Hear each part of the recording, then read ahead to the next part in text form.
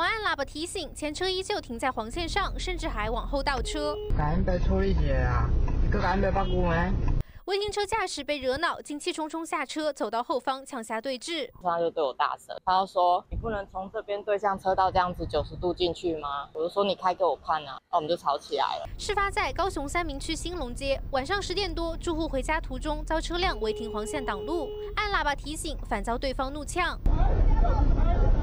黄衣男身上疑似散发酒味，住户报警求助，没想到原警竟回复没闻到酒味就不用测，也没有当场开罚男子车停黄线的违规行为。住户检举原警消极处理，反而收到罚单。检理所是驳回我的申诉，停在黄黄格线上违规是事实。